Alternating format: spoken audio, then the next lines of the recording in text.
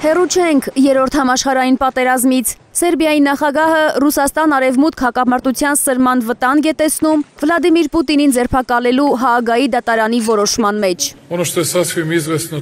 Աշխարը գլորվում է հակամարտության լրացուցիչ սրման մեջ։ Արևմուտքը ու Ռուսաստանը խաղալու են ամեն ինչ կամ ոչինչ սկզբունքով։ Արեմուտքը ցանկանում է հավելյալ ճնշում գործադրել նրանց վրա, ովքեր ծայրահեղական մոտեցում չեն դրսևորել Ռուսաստանի նկատմամբ։ Մենք հերու չենք երրորդ համաշխարային պատերազմից։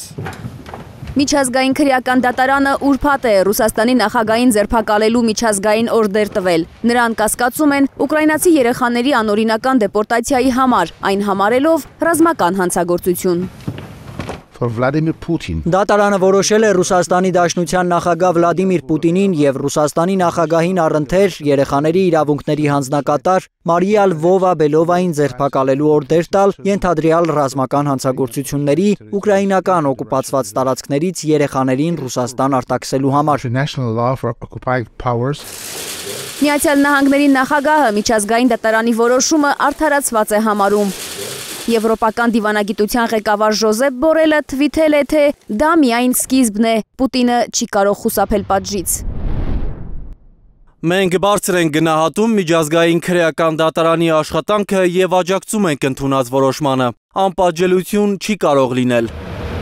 Ռազմական հանցագործություն տերմինը վրթովեցուցիչ ու անընդունելի է համարում Կրեմլը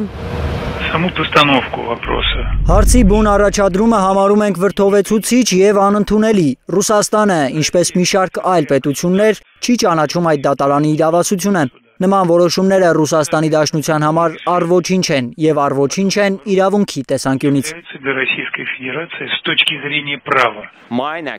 Ռուսաստանը միջազգային քրեական դատարանի Հռոմի կանոնադրության կողմ չէ։ Դեռ 5 շաբթի հայտարարել էր Դաշնության արտգործնախարարության պաշտոնական ներկայացուցիչը։ Այսինքն Մոսկվան Հաագայի դատարանի որոշումները վավերացնելու պարտավորություն չունի։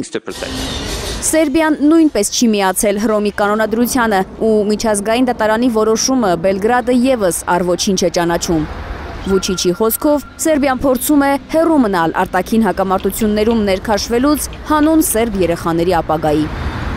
Իմ աշխատանքը պահանջում է անհրաժեշտության դեպքում անսիրտ լինել, եթե հարցը երեխաների պաշտպանությանն է վերաբերվում։ Պատմությանը հայտնի են անպատասխանատու պահվածքի անդառնալի հետևանքների բազմաթիվ օրինակներ։ Մեզ համար միակ փրկությունը ոչ մի բանի չմասնակցելն է։ Ռուսաստանի նախագահը կձերբակալվի, եթե այցելի Հռոմի կանոնադրությունը վավերացրած երկրներից որևէ մեկը։ Նման 123 պետություն կա, Հայաստանն այդ թվում։ Թերեզա Կադաևչյան, Անիղանդիլյան, Հայլուշ։